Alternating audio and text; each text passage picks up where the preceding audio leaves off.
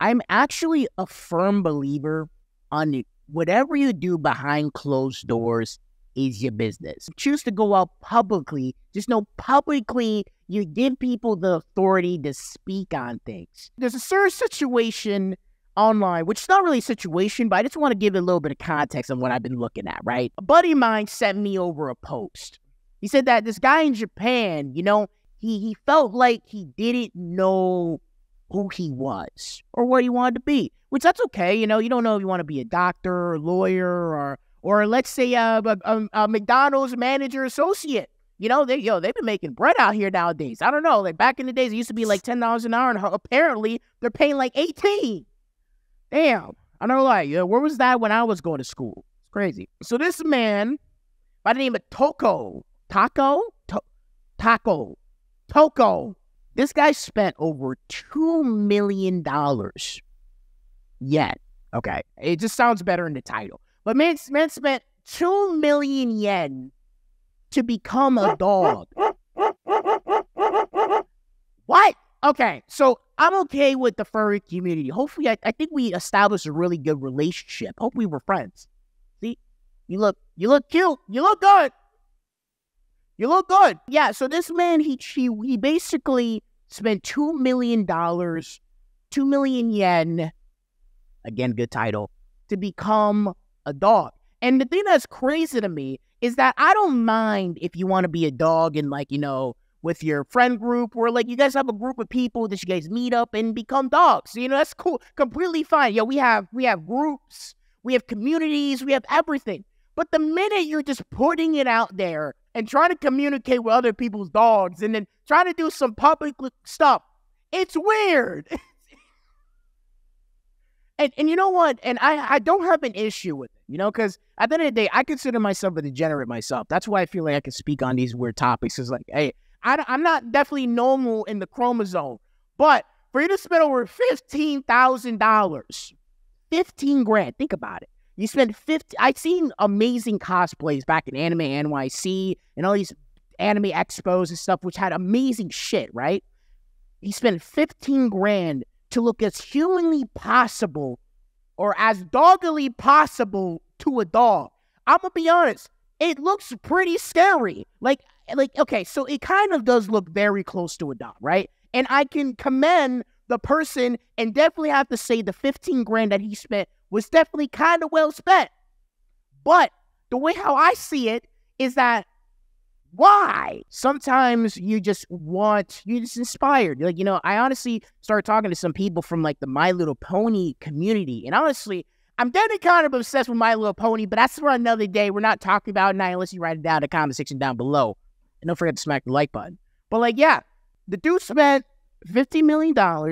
15 million. Holy shit, where am I getting my numbers from? He spent 15 grand to become a dog, which honestly, it's okay. You know, like I feel as though no matter what, it's a costume, you know, you could take it off. But then he literally said, I think, and I quote, that he wanted to become, well, he didn't say anything, or probably barked it out. I don't know. But like the man literally was like, he always wanted to become a dog. He was deep down a dog on the inside, which honestly, shit, you know, back when I used to play football, like we were supposed to be dogs on the field, you know, woo, woo.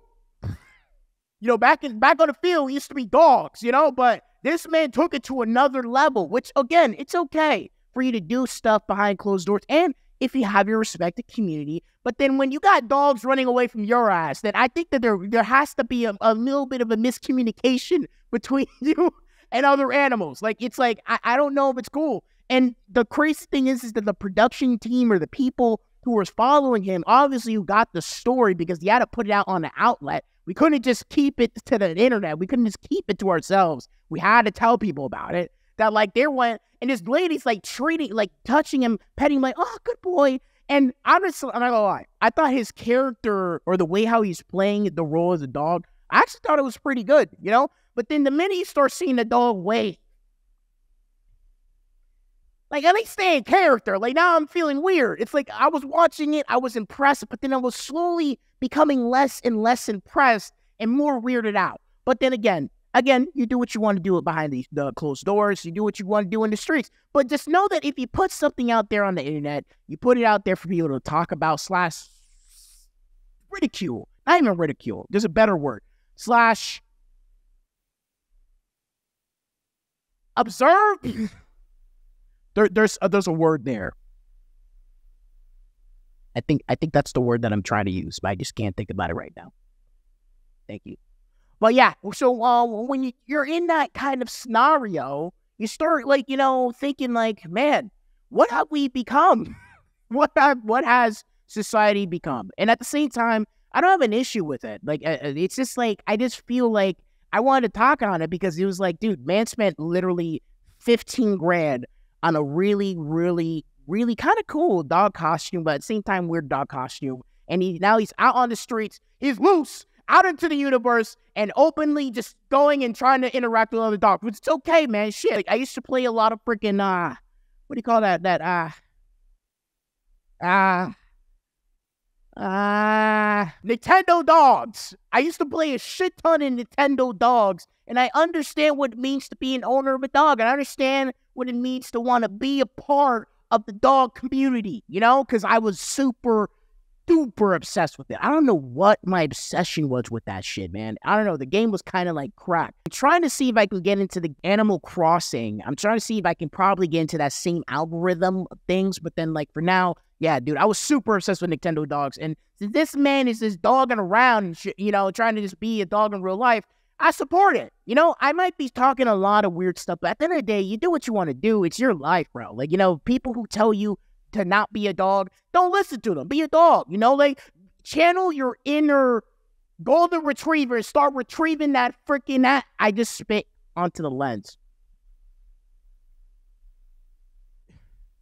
I'm sorry. Feel like a dog, man. Go do what you got to do. It doesn't have any issues with me, but I just saw that you said spent 15 grand. I feel like you go to Party City and achieve the same effect with some other like costume there. But hey, you do what you do to make yourself happy. You know, it's 2023, man. You do anything you want to do to mentally feel better about yourself. And if you feel like a dog, you're a dog.